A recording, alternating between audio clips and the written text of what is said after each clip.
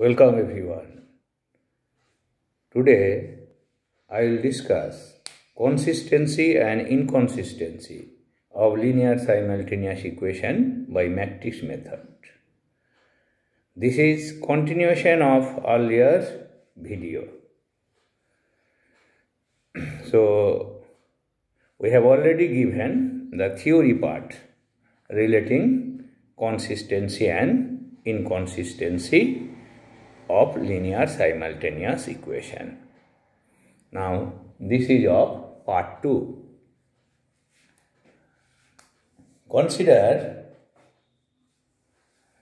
x plus y plus z equals to 0, alpha x, beta y, these three equations are given. They are homogeneous equations. We know homogeneous equation has unique solution that is solution is trivial or infinitely many solutions. So it has unique solution, infinite solution. So whatever may be the case, we have to calculate first delta. So delta equals to 1, 1, 1, alpha, beta, gamma, alpha square, beta square, gamma square. Now this is well-known problem of matrix. So if we, this is 1, 1, 1 in first row. If we use C1 arrow, C1 minus C2, C2 arrow, C2 minus C3, then we get alpha minus beta, beta minus gamma, gamma minus delta sorry gamma minus alpha. In cyclic order very very simple problem for board exam. So we get this relation. Now if alpha equals to beta equals to gamma then delta equals to 0 that is infinite number of solutions if alpha equals to beta not equals to gamma or beta equals to gamma not equals to alpha, alpha equals to gamma not equals to beta, then also delta equals to 0. That is, if any two variables alpha, beta, gamma are equal, then also delta equals to 0. Infinitely many solutions many solutions. So, look at the answer. Unique solutions for all alpha, beta, gamma. So, unique solution delta not equals to 0. If alpha not equals to beta, not equals to beta, not equals to gamma, then unique solution. So, this is not correct. Infinite number of solution. If any two of alpha, beta are equal. Infinite number of solution if alpha, beta, gamma are equal. So, option B and option C are correct options.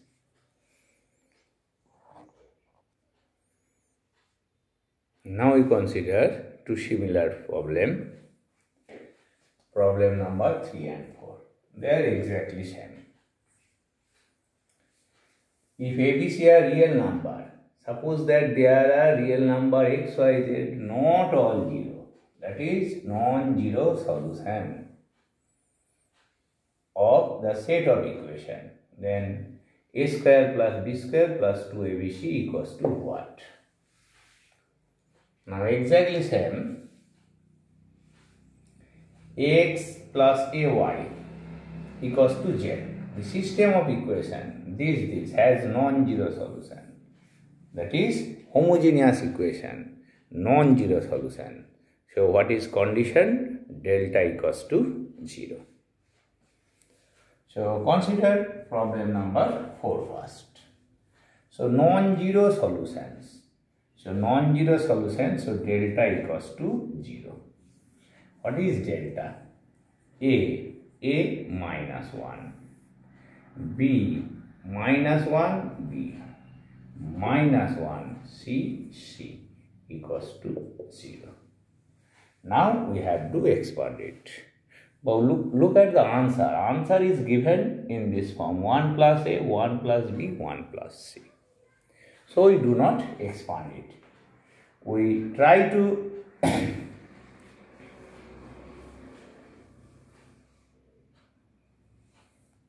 we try to express this determinant in the form of 1 plus A, 1 plus B, 1 plus C. The 1 plus A So this is 1 plus A, 1 plus B.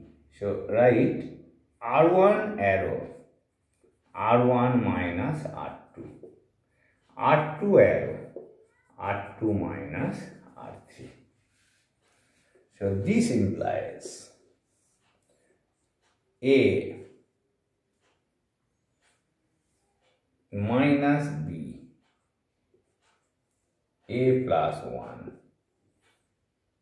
minus 1 minus b.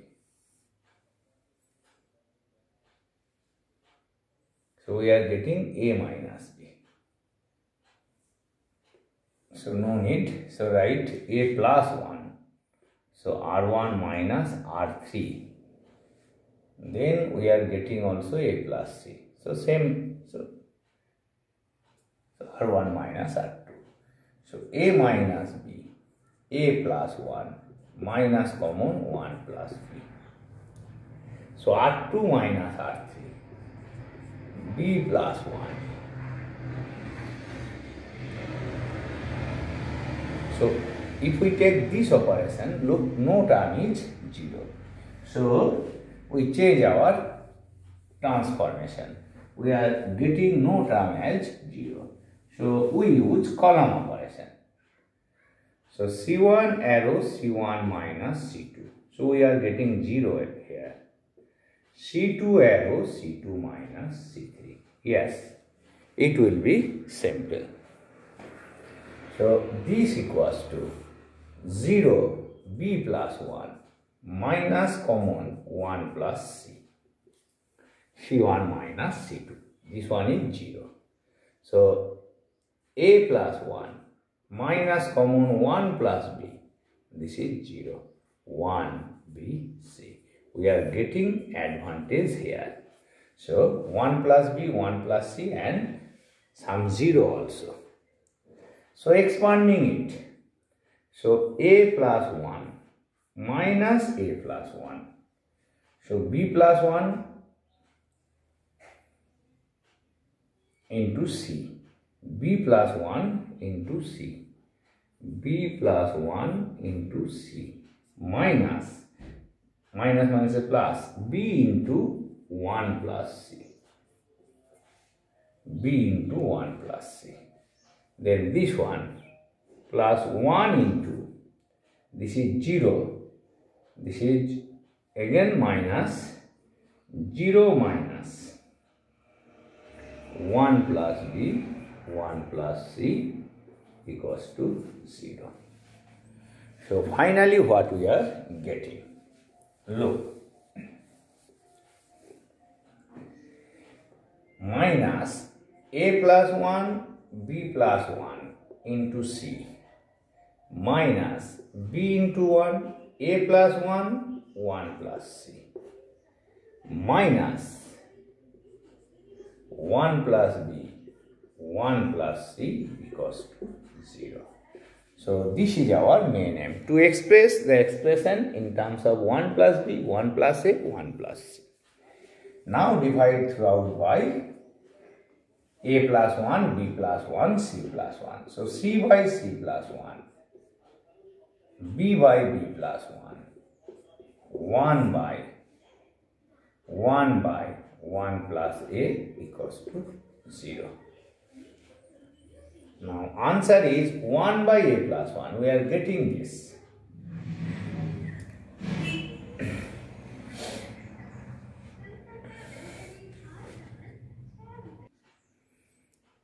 Look it again. This one is minus. So it will be minus 1. So minus 1. So minus minus is plus. So this is plus and we are getting minus minus this plus equals to 0. Now we add 1 on both sides. This is 1. Here also we are add, adding 1. This one is unchanged equals to 1 plus 1. So finally we are getting CC cancel 1 by C plus 1, 1 by B plus 1, 1 by 1 plus L equals to 2. So what will be the answer? Answer will be 2. Now look it again. So this one has non-zero solutions. So not unique solution. Delta equals to 0. Operating C1 minus C2 and C2 minus C3. Now this one is minus. That is why this one is minus. So value is 2. Now previous one. Previous one exactly same problem. Exactly same problem. Only look answer is in different form. So if we simplify this result, we get this one. So no need of any column operation or row operation. So just if we transfer this 1 minus C minus B minus C 1A this is minus B minus A 1 equals to 0. So non-zero solution. So delta equals to 0. So look at the answer. Answer is, is this form. So you expand by ordinary expansion method. 1 into 1 plus a square. 1 into 1 plus a square. Plus c into c into minus c plus minus minus c and minus minus plus so minus C plus AB minus B into minus B into minus so this is AC this is AC plus B so look it again 1 minus C minus B minus C. This is 1. This one is minus A. This is B minus B minus A 1. So 1 into 1 plus A square. So minus minus plus. So this is plus C. C. So minus C minus AB. So minus B. Minus B. This is AC plus B. And this is 1 into 1 minus A square. So finally we are getting minus A square minus C square minus B square plus 2ABC plus 2ABC. So ABC into ABC plus 1 equals to 0. So multiply by minus a square, b square, c square minus 2abc equals to 1. So what is the value? Value is 1. So these two problems are very very simple problem.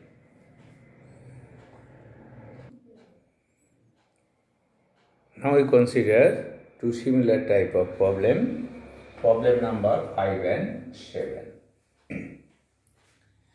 First consider problem number 7. The system of equations non-homogeneous. Infinite solution, no solution, unique solution. So for unique solution, delta not equals to 0. Infinite solution, we calculate delta equals to 0 then there are two possibilities.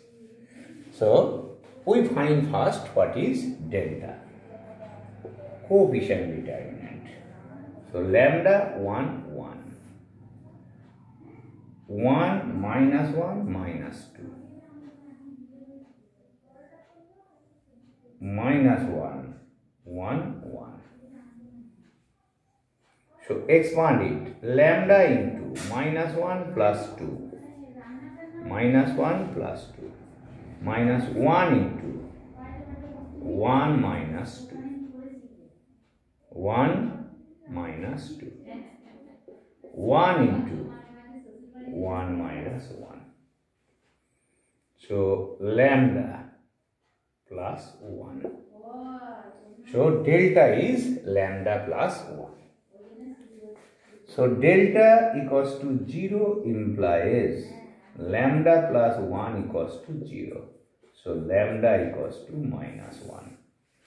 So we are getting lambda equals to minus 1. So delta not equals to 0 if lambda not equals to minus 1. So if lambda not equals to minus 1, then we get unique solution. Lambda not equals to minus 1. Lambda not equals to minus 1. So this is not equals to 0, unique solutions.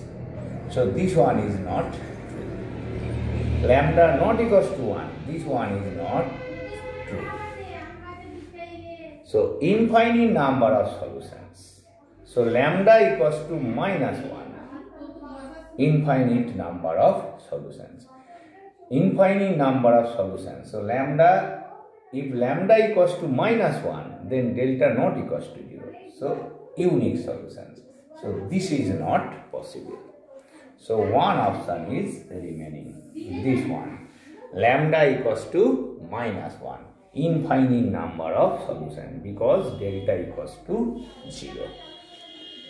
If lambda equals to minus 1, then what we are getting? lambda equals to minus 1. Infinite, infinite number of solutions if lambda equals to minus 1. So lambda minus 1. So minus x plus y plus z equals to 3. So x minus y minus x plus y plus z equals to 3. So minus x plus y plus z equals to 3.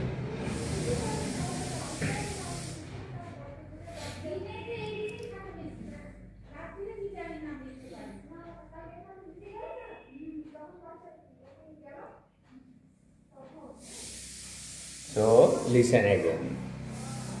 Delta, we are calculating delta. Delta equals to lambda plus 1. So if lambda not equals to minus 1, then delta not equals to 0. Then we get unique solution. So for unique solution, lambda not equals to 4. So this is not possible answer. If lambda not equals to minus 1, then delta not equals to 0. So it has unique solution. So it is not possible. If lambda not equals to minus 1, then delta not equals to 0, then it has unique solution. So this one is not correct. So this is only the possible option. So answer. So there is no restriction on mu. So mu can take any value. So lambda not equals to minus 1 and mu equals to 3. Mu equals to 3 if we take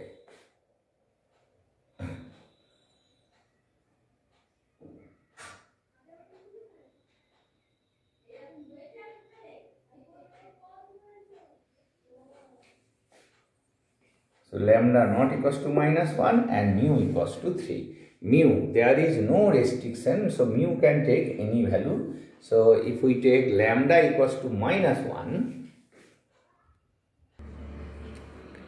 if we take lambda equals to minus 1 and mu equals to 3, then first equation is minus x plus y plus z equals to 3. So minus x plus y plus z equals to 3, mu 3. So they are, they represent same equations. They represent same equation. Infinite number of solutions. Next. Problem number 5. Exactly same problem. The value of lambda and mu for a system of equations has unique solution. Unique solution. System of equation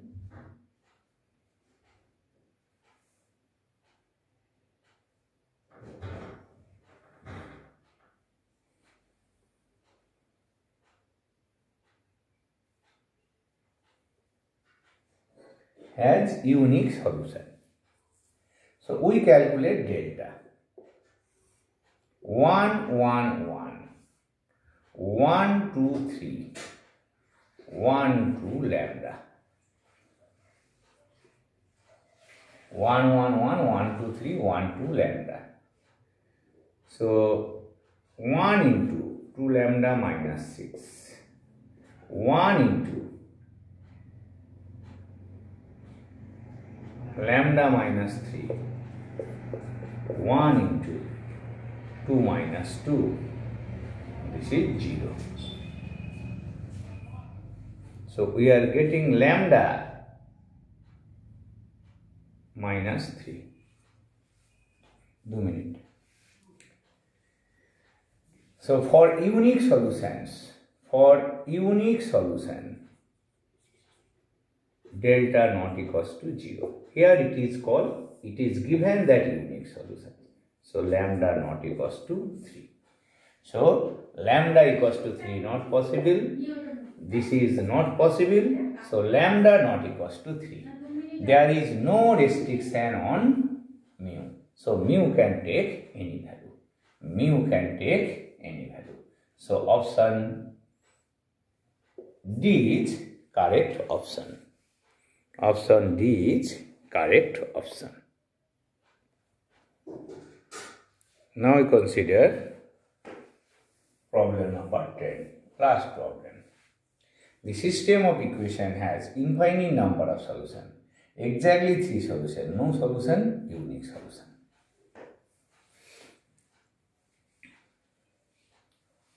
So we have to calculate delta. So 1, 2, 3. So 2, 3, 1. 3, 5, 2. So 1 into 6 minus 5. 2 into 4 minus 3. 3 into 10 minus 9. So minus 1, this is minus 2, this is plus 3, 0. So two possibilities.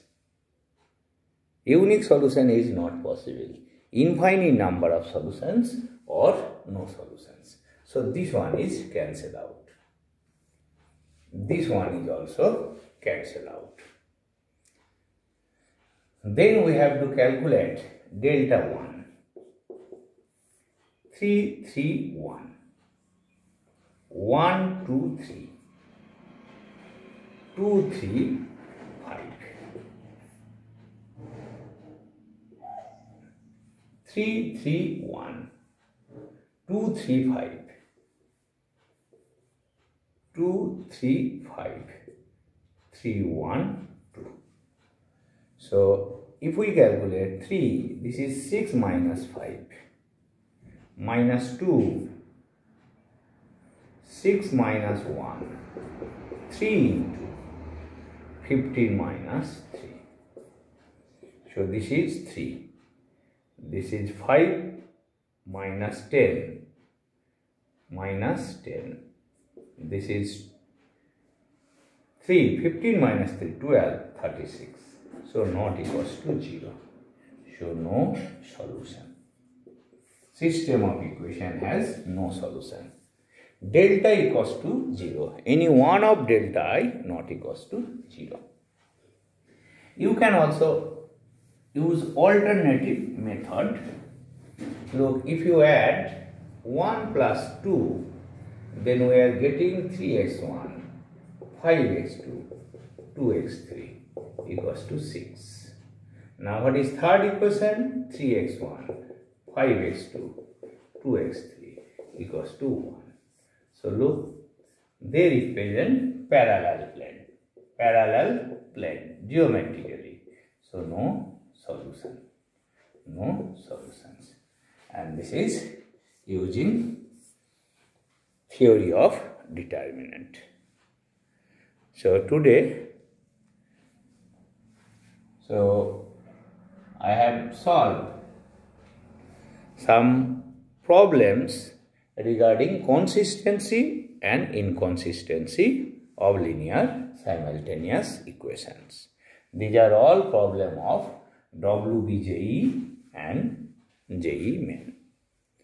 So, if you solve this problem, this type of problem, you must get one 4 marks problem in JEE main and also 2 to 3 marks problem in WB JEE. So you solve the rest of the problem from description box. Thank you.